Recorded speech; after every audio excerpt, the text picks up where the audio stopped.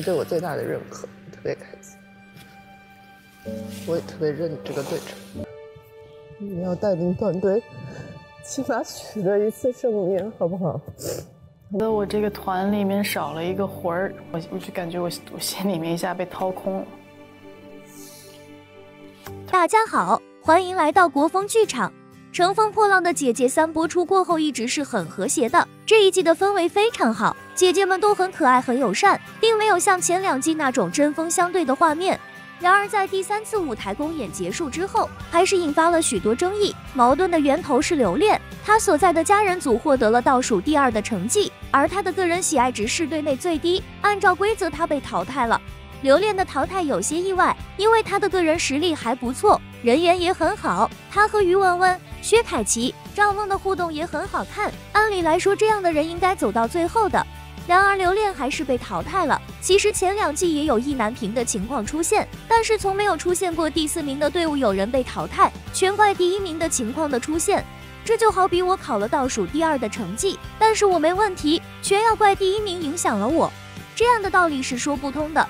留恋被淘汰以后，星星点灯遭到了全网的群嘲，很多人质疑家人那么好看怎么会输？星星点灯那么烂怎么能第一？其实这样的质疑是不合理的，因为留恋被淘汰和星星点灯一点关系也没有，家人只获得了倒数第二名，也和星星点灯一点关系都没有。一投票是实时的。我之所以斩钉截铁地说家人的成绩和星星点灯一点关系也没有，是因为这次舞台公演的票数是实时公布的，每一组表演完以后票数立即产生，而不是五组表演完以后票数统一产生，这两者之间是有本质区别的。每一组单独投票的话，意味着观众投完了第一组，依然可以对后面的表演进行投票。也就是说，每位观众最多可以投五次票。如果观众愿意，可以每一组都投一票。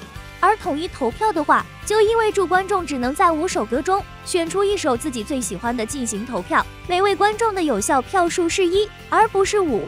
星星点灯是第一组上台表演的，获得了全场最高的九百一十五票。不管他获得了九百一十五票。还是一百五十九票都无法对后面四组产生半点影响，因为观众投完了星星点灯，还是可以继续给后面四组进行投票的。这样的投票机制是很公平的，你能获得多少票，全凭队伍的表现，而不是要看对手的脸色。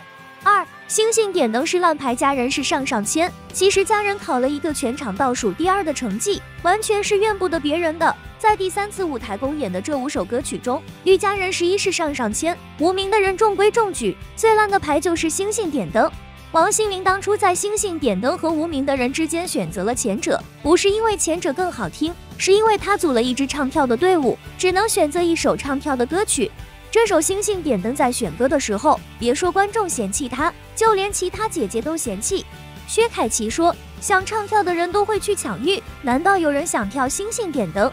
郑秀妍被其他队伍使用了潇潇卡以后，那英给他指了指星星点灯，意思是你可以选这首。结果郑秀妍看都没看就放弃了。队员朱洁静用摇头表示拒绝这首歌，就连首席舞者朱洁静都在拒绝这首歌，可见这歌有多糟糕。最终这首没人喜欢的歌曲被王心凌拿走了，而且在决定出场顺序的时候，王心凌的队伍从第四被人挪到了第一。要知道在比赛中，第一位出场是很吃亏的。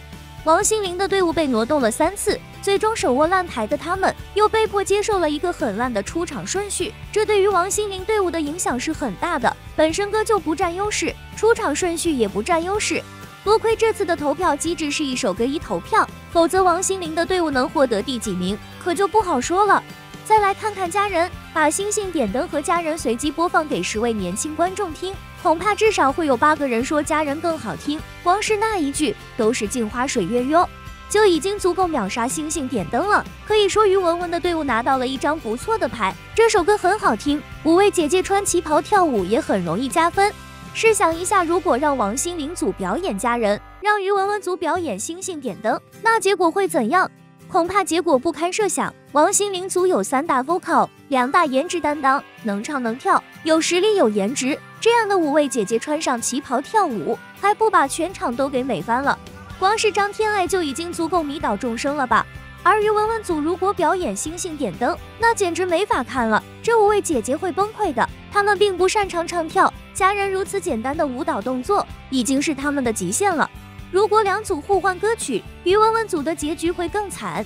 所以不管从哪个角度来看，家人获得倒数第二，留恋被淘汰了，都和星星点灯沾不上半毛钱的关系。